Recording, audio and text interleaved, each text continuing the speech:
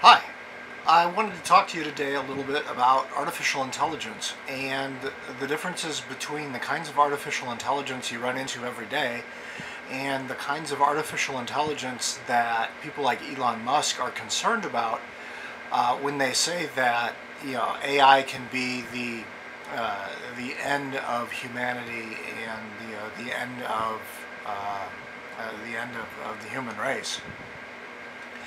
So there are basically two kinds of, of AI that we're talking about here.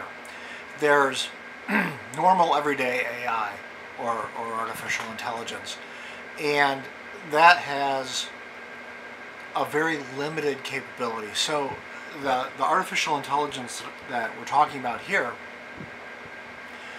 is trained for a particular task. So it's trained to play chess, or it's trained to fly a helicopter, or it's trained to recognize characters. And these are all artificial intelligence tasks that we run into um, in, in, daily life. Um, uh, I guess the you know, some of the most common ones would be Google Now, or Siri, or Cortana, where you have personal assistants that uh, that do tasks for you and can interpret your voice and do voice recognition and things like that. That's, that's artificial intelligence or machine learning as we know it today. The other kind of artificial intelligence is the kind that you see in movies like Transcendence. Um, and that is called Artificial General Intelligence or AGI. And Artificial General Intelligence is um, essentially machine sentience, where the machines become rapidly more intelligent, uh, accumulate knowledge, and reach the point where they can change their environments to accomplish their goals. And if those goals are not well defined, or worse, if the machines themselves define the goals, then they could at some point decide that humans are a hindrance to the achievement of their goals and they could eliminate humanity. At that point, um, they would be smart enough, or it would be smart enough, that it would not be possible to turn it off. So let's think about this for a second. If you have a machine that's become sentient, it's going to contemplate the strategy that people will try to turn it off. And so it will behave in a way that will prevent people from turning it off until it's not possible for people to turn it off.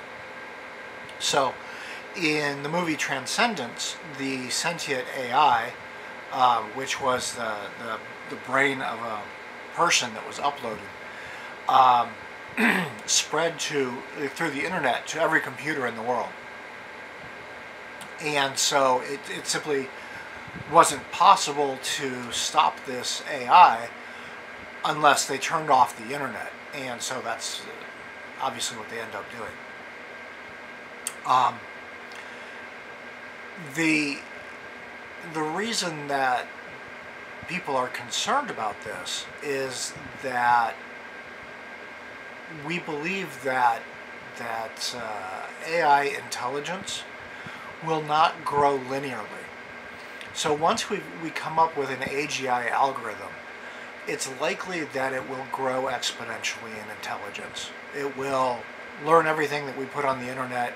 It will know all of our books. It will start to develop scientific ideas on its own. Um, it will be able to modify its own code to make itself more intelligent or more efficient. Um, and it will be able to um, uh, very quickly reach the point of sentience, which, which some people like Ray Kurzweil call the singularity. So there are groups like OpenAI that was co-founded by Elon Musk that are working to to create artificial intelligence or artificial general intelligence that is friendly or is not capable of, of becoming evil and destroying humanity. Um, so it's a, it's a very interesting area of research. Uh, at at the intersection of artificial intelligence research and philosophy. Um, but most of the work that's being done in artificial intelligence is, is in the other kind, in the self-driving cars and the personal assistants and the voice recognition and predictive texting and search results and all of these things that we use every day that actually have artificial intelligence or machine learning behind them that we may not recognize as artificial intelligence or machine learning.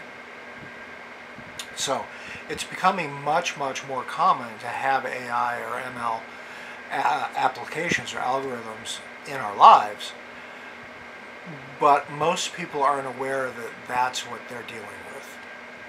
So uh, I just wanted to start off this sort of series of AI discussions with uh, the talk of what is artificial intelligence versus artificial general intelligence. Uh, if you have any questions, put them in the comments um, or email me or talk to me in person and uh, I will do my best to answer them. Thanks a lot and talk to you later.